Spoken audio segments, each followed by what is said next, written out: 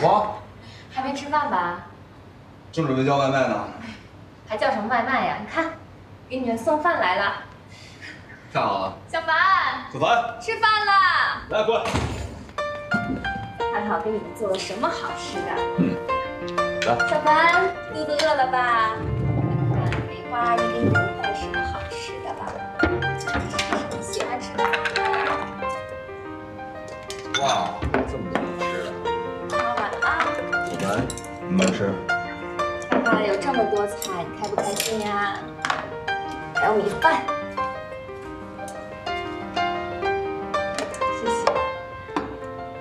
哦，小凡，这是你最爱吃的米饭汤。来，尝一口。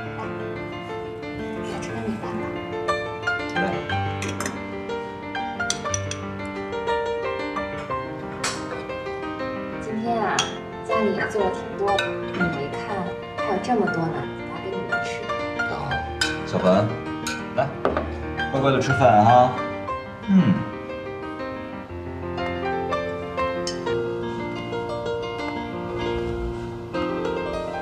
最近医院那边怎么说呀？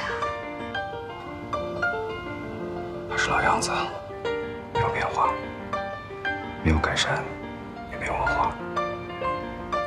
慢慢来吧，这种事情也急不得。想下次啊，你可不可以把圆圆也叫到我们家来？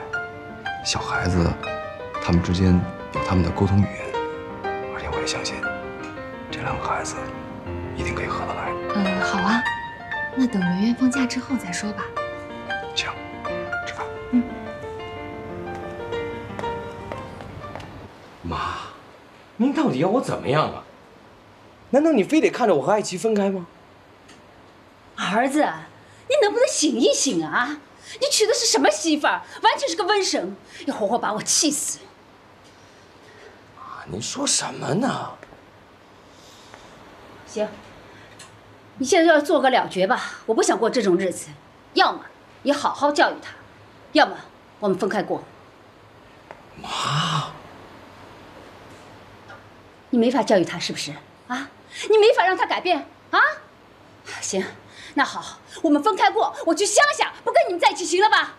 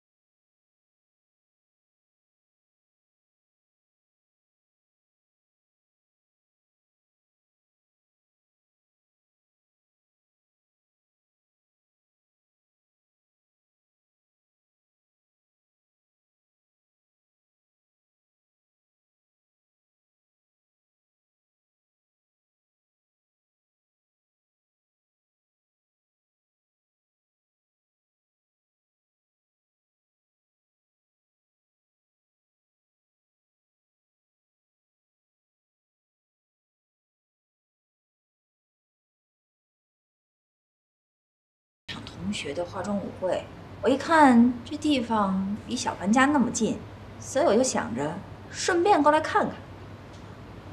哎，要不然你去趟洗手间吧？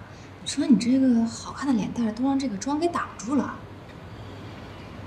你就不能有点审美啊？大叔，嗯我去趟洗手间啊。啊好。梅花，嗯，小念啊，很喜欢小凡，他经常来我们家来看看小凡。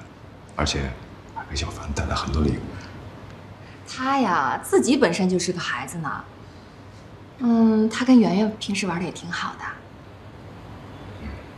那行吧，那我去擦桌子了。好，我去刷碗。嗯嗯。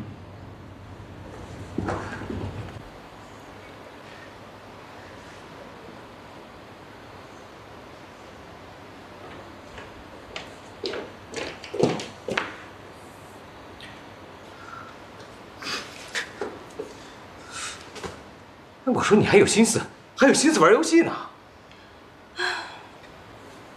我就是因为心情不好，才玩游戏来舒缓心情。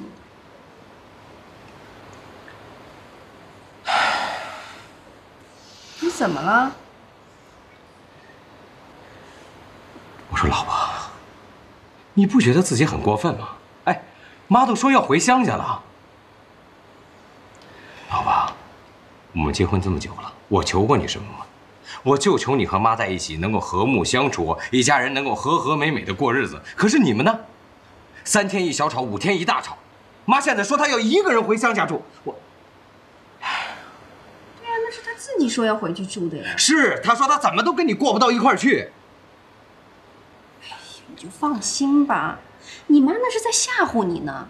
你就是把天劈成两半儿，你妈都不会放弃你一个人独自去生活的。嗯，我说老婆，你就一点不内疚吗？哎，你就只会说这些风凉话。难道我说的不对吗？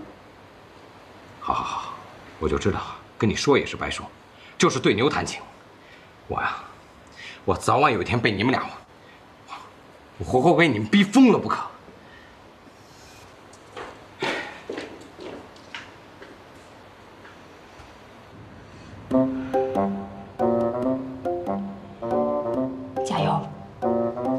轻易的放弃。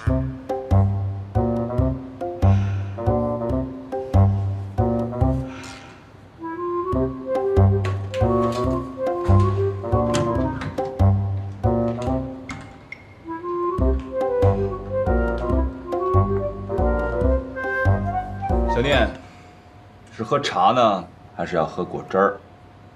嗯，我都可以。嗯，好，等着啊，我给你倒去。谢谢啊，大叔。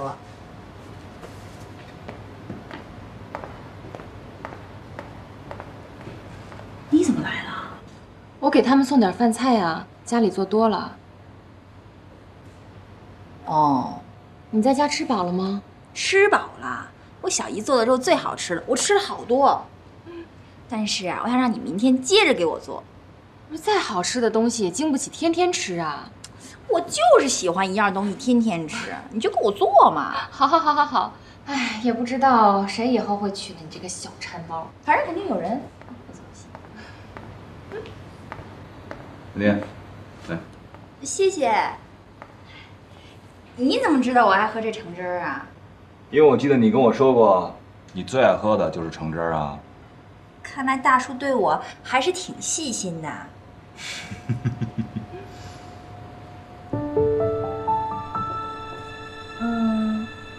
我去找小凡玩吧。好，那一会儿我们一起回家啊。知道了。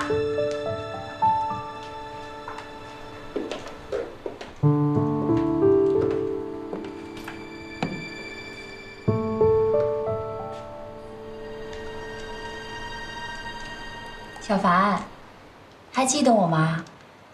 我是小念姐姐。